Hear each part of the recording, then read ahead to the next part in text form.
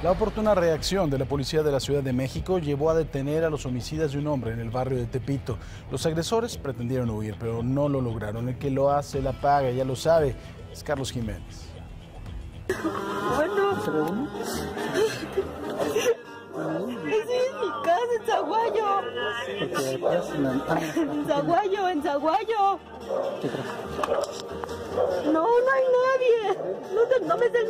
Nadie.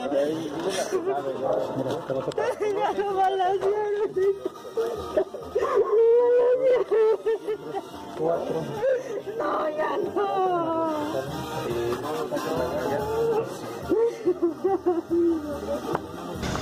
Es la voz de una joven que llama por teléfono para contar que acababan de matar a tiros a su novio. Son los alrededores del barrio de Tepito. Y aquí fue agredido el hombre por un ex reo y un cómplice con el que tenía problemas desde tiempo atrás. Y ellos son los agentes de la policía de la Ciudad de México que patrullan en convoy durante las noches las zonas más conflictivas de la capital del país. Lo hacen así para prevenirse, pues en ocasiones han sido agredidos incluso a tiros. Aquí se ven las huellas de uno de esos ataques. La noche en que fue asesinado aquel hombre, ellos acudieron a la llamada de auxilio. Esa noche nos refieren por medio del 911 una emergencia de disparos. Al llegar al lugar efectivamente encontramos un vehículo Beetle con una persona en el interior ya muerta.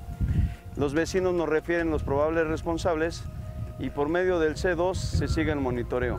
Por medio de las cámaras de la ciudad, los agentes ubicaron los autos en los que viajaban los agresores. Son estos dos que van a toda velocidad por diversas calles rumbo al Estado de México. Los agentes trazaron una posible ruta de escape y entonces colocaron un punto de revisión policíaca.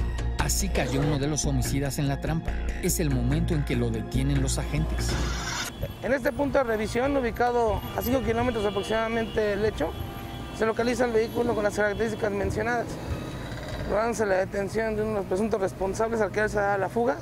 Pero la persecución no terminó ahí, pues su cómplice intentó escapar. En su afán de huir, se tiró debajo de un carro y fingió ser un indigente, pero de nada le sirvió.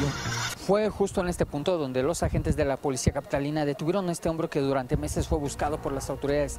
Al momento de su captura ofreció un millón de pesos a cambio de su liberación, pero los agentes no aceptaron el soborno. Si usted lo reconoce, denúncielo. Se trata de Mark, de 25 años, y Yuri, de 35. Al ser capturados, los agentes les decomisaron todas estas credenciales falsas con diferentes nombres. Y es que ahora saben, Yuri fue uno de los fundadores del grupo delictivo de la Unión Tepito y quería pasar desapercibido. Gracias a la rápida reacción de los agentes de la policía capitalina, a la planeación de los operativos nocturnos, ya que los uniformados no aceptaron un millonario soborno, los dos hombres ya se encuentran presos. Y es que el que la hace, la paga. Para imagen, Carlos Jiménez. Imagen Noticias con Paco Sea, lunes a viernes 5.50 AM. Participa en Imagen Televisión.